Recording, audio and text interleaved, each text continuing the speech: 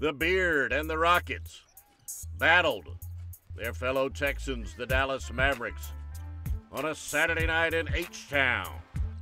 And once again, the Beard was sharing the basketball and doing his job as a scorer as well. Montrezl Harrell. Big three pointer with a hand in his face.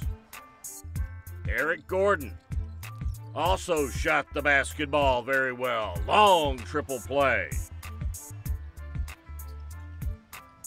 Then good ball movement for the Rockets. Harden another assist. Gordon with another three. That one beat the shot clock. 18 points in the game. Then in the third, the two man team of Harden and Trevor Ariza started clicking and got on fire.